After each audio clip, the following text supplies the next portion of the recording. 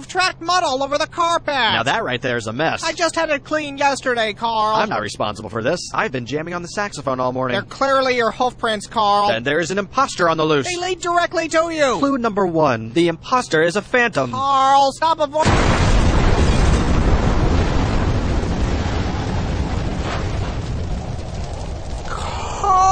Carl! Happy birthday! It's not. Please tell me you had nothing to do with this. Why don't you blow out your candle? You've gone too far this time, Carl. What's that? It's hard to hear you over the sound of melting city. How did you even do this? A dollop of fairy dust. Carl. I ripped the tag off a mattress. This isn't funny, Carl. Who's laughing? Clearly not all the people who just exploded. I'm leaving. I've had enough of this. But think of all the perfectly roasted faces we get to munch on now. What? Why? Because we're friends, and friendship is two pals munching on a well-cooked face together. that isn't friendship, Carl. That's sick. Well, then you're probably not gonna like your birthday decorations. it's not even my.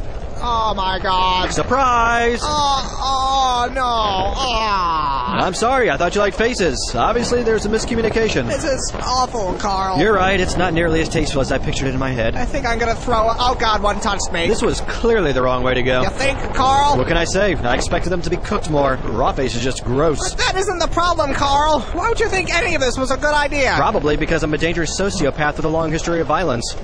oh. I don't understand how you keep forgetting that.